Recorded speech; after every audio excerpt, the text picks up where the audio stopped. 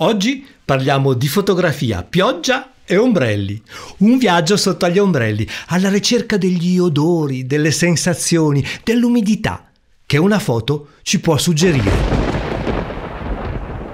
Sono andata su quel marciapiede almeno tre o quattro volte nella mia vita, a pochi passi dal cimitero di Montparnasse, sulla riva sinistra della Senna, al quattordicesimo arrondissement.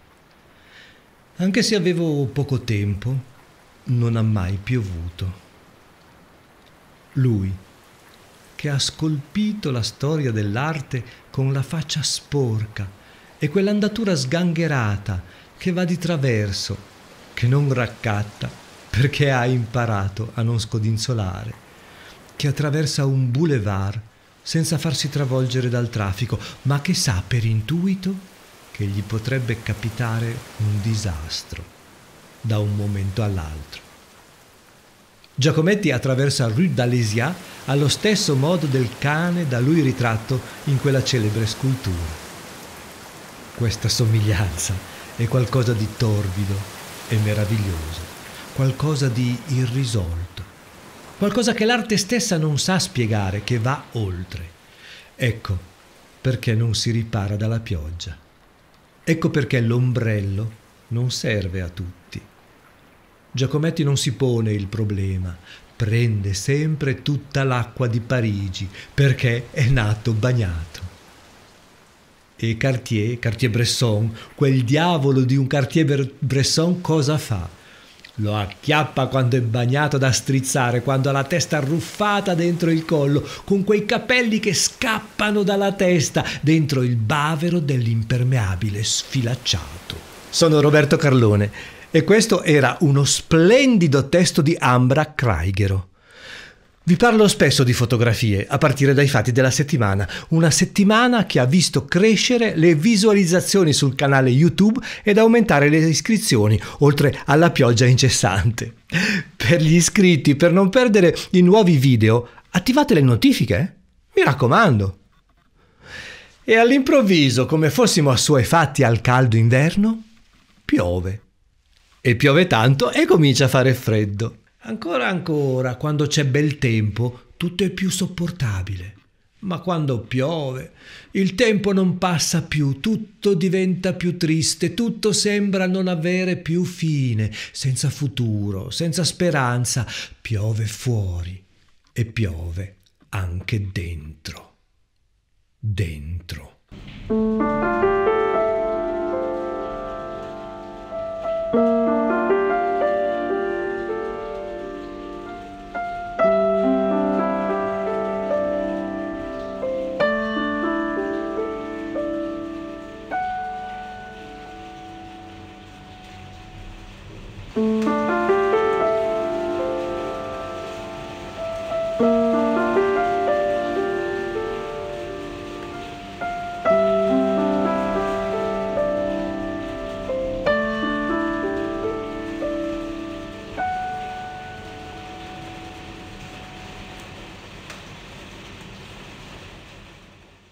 E se poi esci senza ombrello, è ancora peggio. Quindi voglio fare un omaggio agli ombrelli in fotografia. Ne ho trovati tanti, estetici, reali, zuppi d'acqua, divertenti. Quando si fotografa sotto la pioggia c'è sempre uno sguardo obliquo. La rigidità che si ha camminando si trasmette anche alla macchina fotografica, paurosi ma divertiti al medesimo tempo. C'è chi ne ha fatto un dato estetico, come Richard Avedon, a cui subito ha fatto lo sberleffo Martin Munkaxi. Sembra un ritorno indietro. Prima salto di là e poi dopo un poco di tempo, ahimè, si ingrassa e ritorna con slancio e leggerezza.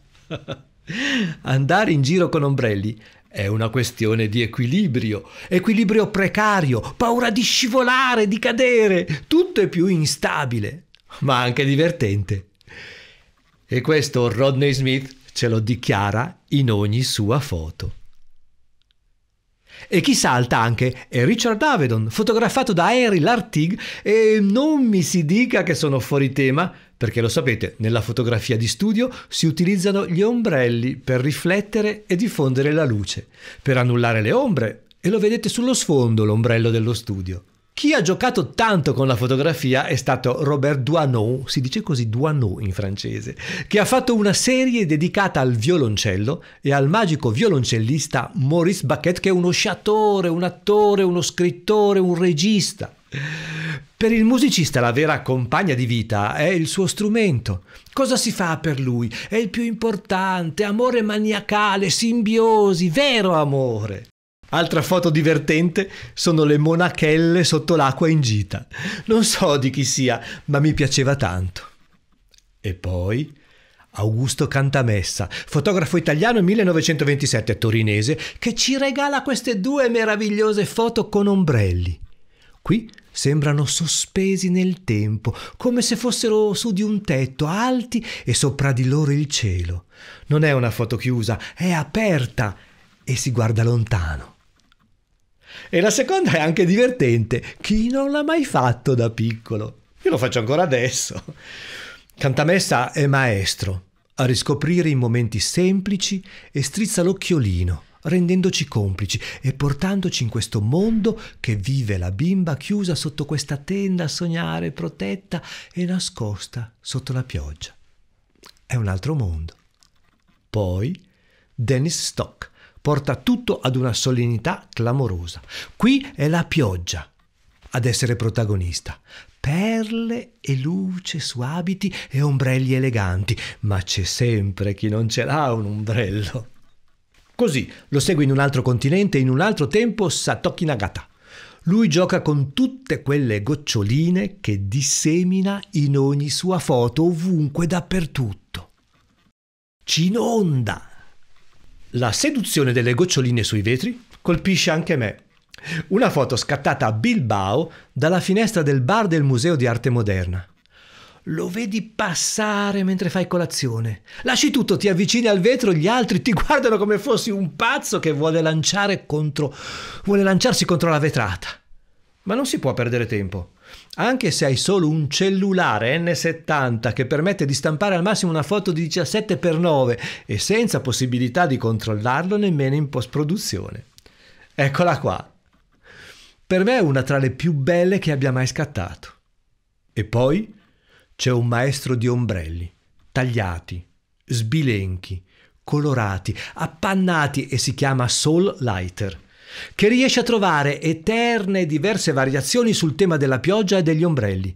Tagli strani, un continuo gioco di celare, svelare, nascondere, accostamenti di colori che si saturano nelle ombre, poesia, suggestioni.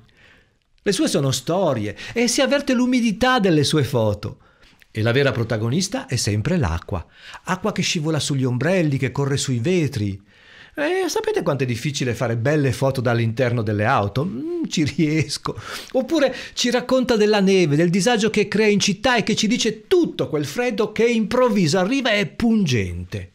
Nonostante il primo piano sia a fuoco e sia il semaforo il vero protagonista, è l'ombrello. Pioveva quel giorno, lo ricordo perfettamente, acqua dappertutto. L'ombrello mi riparava. L'impermeabile anche le scarpe no. Da lì entrava tutto il freddo del mondo e poi non stava fermo, ma con l'umido ti entrava nelle ossa. A volte ci volevano giorni per toglierselo da dentro. Ogni giorno, ogni notte pioveva e lei non arrivava mai, ma io aspettavo, tenace e zuppo. Il suo passo leggero ma spedito, quel suo ombrellino e rinchiudersi sulle spalle, stretta, stretta, stretta sarebbe arrivata per me.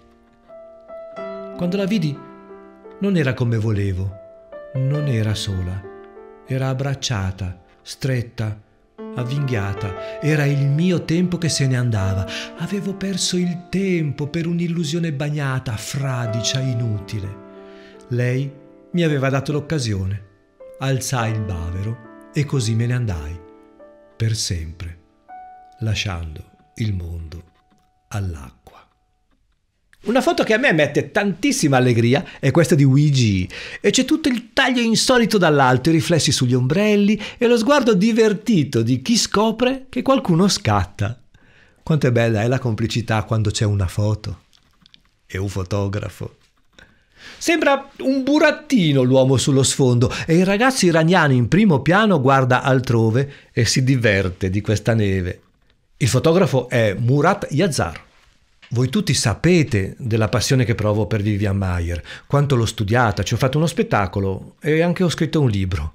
Ha un gusto per le persone, riesce a catturare e se le rende sempre complici, nonostante la sua complessità e ricchezza. In un freddo siderale, vedete le donne tentano di ripararsi, sentite la fretta che provoca la pioggia. E la stessa sorte tocca all'anziano di Puerto Rico in uno dei suoi meravigliosi viaggi intorno al mondo. Ma un uso diverso, sempre lei la meravigliosa Vivian Mayer, ce lo presenta da una piazza francese a Saint-Julien-en-Champsaur negli anni 50, quando lei torna nella terra dei suoi avi. Il giorno del mercato e tanti, tanti ombrelloni, quasi più che la gente che lo affolla. E la pioggia se ne va e ci presenta una foto meravigliosa, raggiante, di Robert Capa con Picasso e Françoise Gillot. Il doppio uso dell'ombrello salva dalla pioggia oppure diventa trionfo della bellezza che protegge dai raggi del sole. Pure Cartier-Bresson, che coglie certi amori gentili, educati, intimi, rilassati. Ma andiamo al gran finale con questa foto di Robert Whittaker dei Beatles sotto gli ombrelloni. È una foto che di solito non si vede. È assurda, eh? con lo sfondo dipinto. E omaggiamo Monica Vitti. La sua bellezza innocente. In questa foto di un catalogo di ombrelli, fotografia superba di Marisa Rastellini. E chiudiamo con l'etereo, sospeso Luigi Ghirri, con questi due ombrelloni a cervia. Così chiudiamo con questa estate dolce come l'estate degli anni settanta e quell'innocenza dei due ombrelloni sghembi, come gli amori delle estati. Ecco, questi erano gli ombrelli delle foto nella pioggia. Uno mio, gli altri di splendidi maestri. Henri Cartier-Bresson, come si dice in Francia, Richard Avedon, Martin Munkaxi, speriamo, Rodney Smith, Elliot Erwitt, Henry Lartigue, Roberto Hanot, Augusto Cantamessa, Dennis Stock, Satoki Nagata, Saul Leiter, Luigi, Murat Yazar, Vivian Mayer, Robert Capa, Robert Whittaker, Marisa Rastellini e Luigi Ghirri. Sostenete la mia ricerca e la mia produzione con una donazione su Tipi tip come mancia seguito da 3e bit.ly slash sostieni Roberto. Qui sotto trovate più informazioni nelle, nei link, così il canale resta libero da pubblicità e posso continuare a produrre video per tutti per far crescere la rete. E mi raccomando, cercate fotografie da appartamento sul mio sito robertocarlone.it, fotografie da appartamento. Anche questo è un bellissimo progetto, intenso e delicato, una sinfonia multimediale online. Presento questo spettacolo nato per il web in cui racconto attraverso fotografie e musiche la mia casa. Bene, vi saluto e vi do appuntamento al prossimo video, sempre su questo canale, a cui non mancherete di iscrivervi. Continua a piovere. Sentite? La pioggia che ritorna. Quindi chiudiamoli questi ombrelli. Camminiamo, cantiamo sotto la pioggia, tutti insieme. Vi aspetto. Alla prossima. Ciao.